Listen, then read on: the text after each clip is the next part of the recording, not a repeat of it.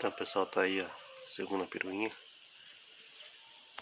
Outra corujinha, né? A gente pediu igual a outra, mesma cor. Então a parte final e finalizada pra vocês estar vendo aí, né? Quem gostou, deixa o like aí, se quiser comentar. Vamos aí, beleza?